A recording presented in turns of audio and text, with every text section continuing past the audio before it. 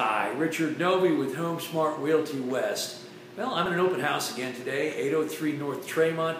Great looking house, four blocks from the beach. Uh, we just dropped the price $10,000 to get it sold this week. We're at $865,000 and we're ready to go.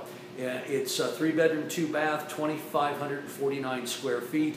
It's west of the 5, it's west of PCH, and it's here in Oceanside. It's a looker. Uh, well, listen, here's what I'm thinking. Uh, come on down. We'll, we'll hang out. We'll, we'll, we'll, uh, we'll have some cookies and milk. We'll, we'll drink a soda or something. And maybe we'll do some singing. You like to sing? I love to sing. I, I, I, walk down the street and I burst into song, or everything I see reminds me of a song. And, and how about how about when you wake up in the morning and, and all of a sudden there's a song in your head, you know, do do do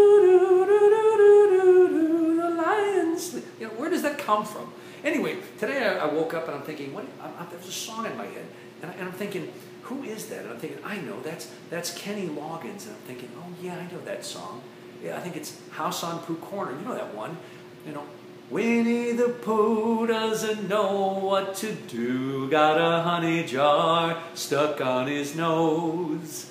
He came to me asking help and advice, and from here no one knows where he goes. So that's the song stuck in my head. Come on down, tell me what song is stuck in your head, we'll sing it together.